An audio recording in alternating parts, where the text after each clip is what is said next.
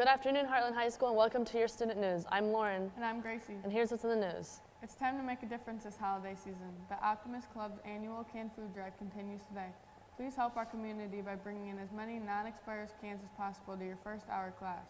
A delicious donut and juice bar will be set up for the winning first hour class when the contest ends December 1st. Reminder to all the seniors don't forget that your senior pictures are due by November 15th and your senior quotes are due by November 30th. Attention all students, the lunchroom is becoming a mess. Please take pride in yourself and school and clean up after yourself at lunch.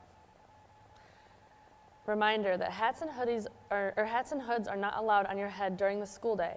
Please make sure they are off and put away all day, including passing time or, or and lunch, or don't bring them at all. If you are having to be reminded multiple times, school consequences will be applied. The National Honor Society is selling School Spirit Pura Vida bracelets during all lunches this week. Cost is $8. The National Honor Society is also sponsoring a three on three basketball tournament today. Make sure each team brings 10 canned goods in order to play. Arrive at 2.05 p.m. in the main gym. Winner will receive a special unknown prize. Anybody interested in Science Olympiad, please stop by room 217 and see Ms. Hagerman for more information. Students, just a quick reminder that you must be registered in the front office to park at the Heartland High School, and you have an assigned spot. Please make sure you do this or you will be ticketed. Peer tutoring is now available in the counseling office Tuesdays and Thursdays at 2:30 throughout the school year.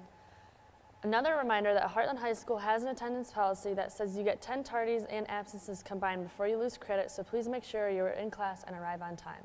Now, for, sports. Good luck to the boys cross country team as they run for the state championship tomorrow. This event is at Michigan International Speedway and starts at 2 o'clock.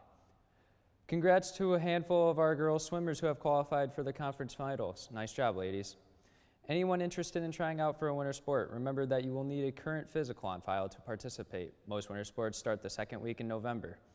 Girls basketball tryout schedule from Mo- Monday, November 8th to Wednesday, November 10th.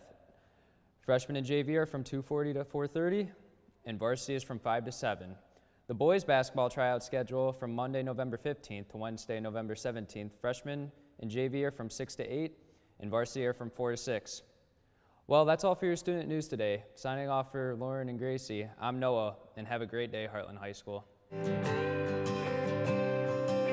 The way I talk, I guess I got it from a product doesn't down.